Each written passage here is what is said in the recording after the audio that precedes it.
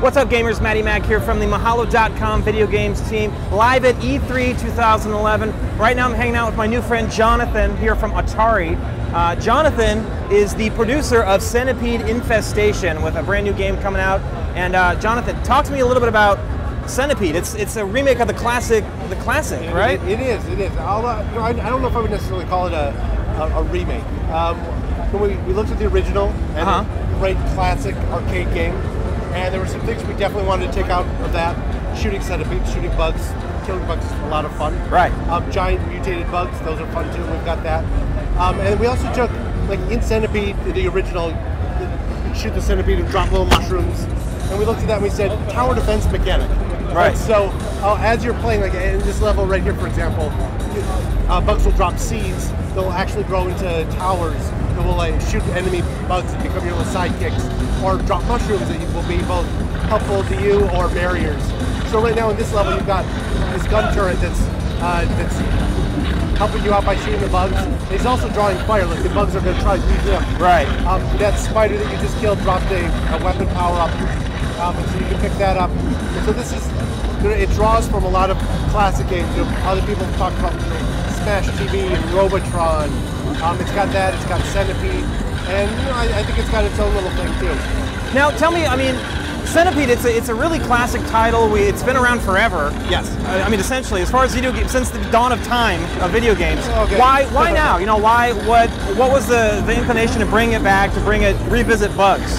Sure. Well, Atari had some some of the best IP in the, in the industry. You know what I mean? Centipede, Asteroid, Right. Missile Command, Yeah. Battle. I mean, lots and lots of great stuff. Warlords, which you can see over there. Yeah. Um, and looking at okay, but Centipede in its classic original form Uh-huh. is not what people are playing today. We wanted to take those classic IPs and make it something that that speaks to the original, but is also absolutely natural for the platform, what people want to play today.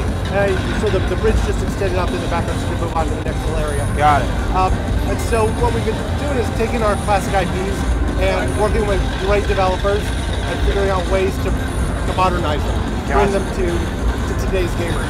And so Centipede is on the Wii, it's on the 3DS. We're working with WayForward, who has a great gift for making great Wii and 3DS games. And so, um, you know, we're using their expertise in game design mixed with our IP and trying to come up with something cool and Centipede Infestation. Now, what what's what's the future for Centipede? I mean, is this is this looking to be the start of a whole new you know franchise series of, of bug smashing games? You know, I'm not a superstitious person, but right now I really want to make sure that this one's awesome. Yeah. And then we'll talk about what comes next. Awesome. Now, and how long is the game roughly? Uh, so, so what you're seeing here is pre-alpha. Yeah. Um, a lot of stuff still in development, and so I'm. I don't really want to say like specifics. We've got seven different environments. You're going to walk through the gardens like you saw. Here you're on rooftops. We've got another level that's in the city. There's marshlands and caves, lots of different environments. Right. The number of levels will be a bunch. Um, I, it's over 20, um, but the specific number is yet to be determined. Awesome, awesome. And so you say this is uh, pre-alpha. When when are you guys expecting the, the title to drop? So it will be out in fall. Fall, fall 2011. Uh, this year. Wow. Yeah. Holiday 2011. Oh, shoot him. Oh, we're shooting this guy here. Shoot that guy there. uh, so one of the things to point, so like these things you keep picking up are, are weapon pumps. If you push up on the D-pad right now, Uh-huh. you'll be using your upgraded machine gun. Oh, okay. There we go. So if, and when this one's done, if you went D-pad to the right, you get your uh, your toxic ooze gun. Yeah. And the bottom one is our force gun, which kind of pushes the bugs away.